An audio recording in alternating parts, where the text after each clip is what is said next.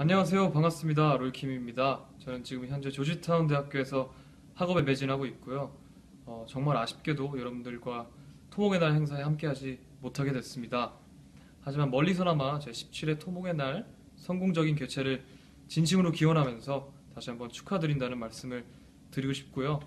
더 멋진 음악으로 더 멋진 사람 돼서 곧 여러분들 찾아가겠습니다. 감사합니다.